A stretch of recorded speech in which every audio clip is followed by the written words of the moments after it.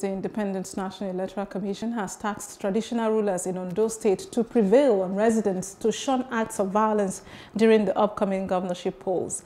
INEC Chairman Professor Mahmoud Yakubu, during an interactive session with members of the Ondo State Traditional Council in Akure, said there is a need to ensure that the polls are free, fair and credible. Kabiyesi o, the Commission is aware of a few incidents of violence among supporters of some political parties. Any incidents of violence is worrisome to the Commission. I want to assure Your Royal Majesties that INEC is ready for the election.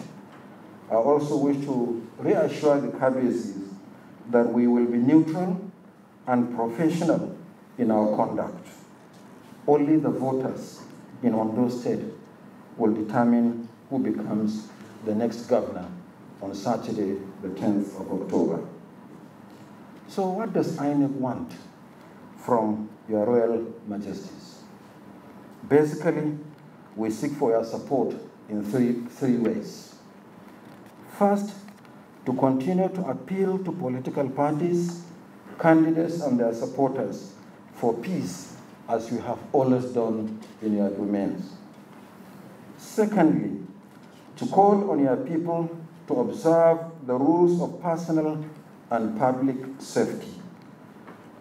This is an election conducted in the context of a global health emergency, the COVID 19 pandemic. It is important for voters to vote and go home in safety. Thirdly, we seek for your prayers for peace in Ondo State. We also seek for your prayers for INEC that the election to be held on Saturday will be peaceful, free, fair, transparent, and credible.